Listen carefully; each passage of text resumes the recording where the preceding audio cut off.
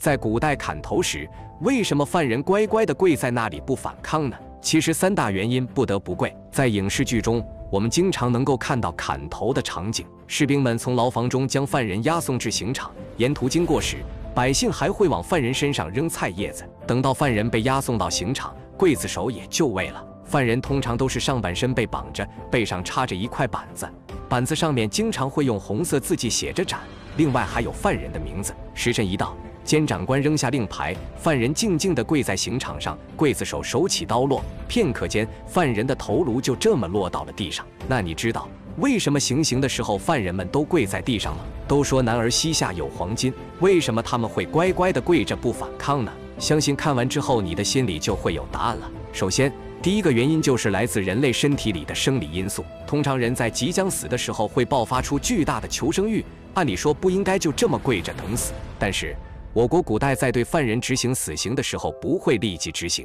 通常都是顺应天意，秋后问斩。一般犯人在被判死刑之后都会被关进大牢里，在大牢的这段时间，他们通常吃不好也穿不好，有时候遇上了脾气不好的牢狱大哥，估计连饭都吃不上。长期的饮食无法得到保证，身体素质自然就下降了，吃不好，睡不好，加上长期的营养不良，有时候还会生病。还没等到砍头，光是在牢狱中的遭遇，身体就已经被搞垮了。有的身强体壮，没有生病，但是长期吃不好饭，身体也估计大不如前了。从心理学上讲，人面对死亡是充满恐惧的，所以有的人会身体不受控制，可能会双腿打颤站不住，这个时候跪下就看不出来了，而且。警察在办案的时候，通常会观察嫌疑人的肢体动作来判断是否撒谎，死刑犯也不例外。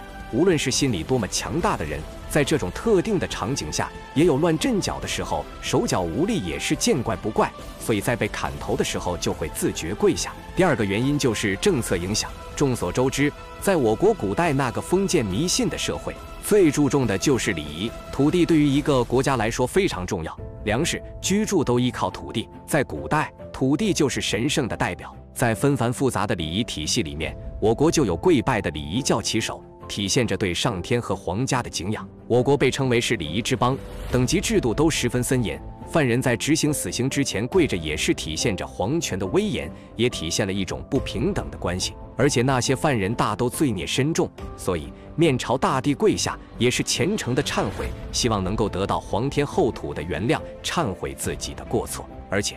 跪着能够让刽子手更好的发力，一刀之后人头落地，痛苦也只是一瞬间。如果站着的话，可能一刀砍不断，就要接着补刀，这对于犯人来说就十分痛苦了。而且，我国古代相信善恶轮回、因果循环，觉得处决犯人也应该顺应天时。